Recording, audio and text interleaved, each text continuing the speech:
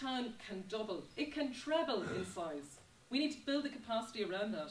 But we need to look at the new ways of working. And as we're speaking here and about connected hubs, it's about that hybrid working. It's about the ways we're changing about how we work today. There's so much that we are doing over the last few months, few years, uh, decades. This does just not happen by itself.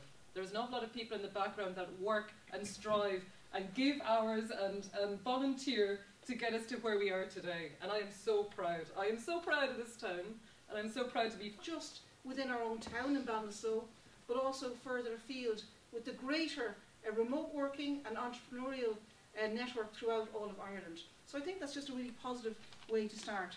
Um, so I'm going to try and keep the time so that we have a bit of time for chatting afterwards as well. So without further ado... Brian, Ballinasloe was a very sizable branch. It was a great, great two branch.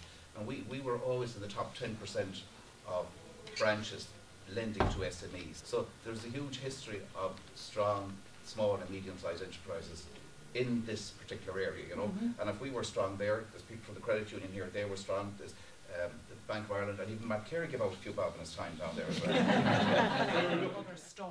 That we do that if it wasn't for the centre here, we wouldn't be in a position to do. You know, it's great foresight, but and like obviously voluntary board of directors, and some of them are here, who all give their time voluntary for the betterment of Ballinasloe. So, like when you have a community like that, there's only one way will facilitate and organise and fund any events that you would like to do as remote workers or hybrid workers. It's not just about, it's mostly hybrid.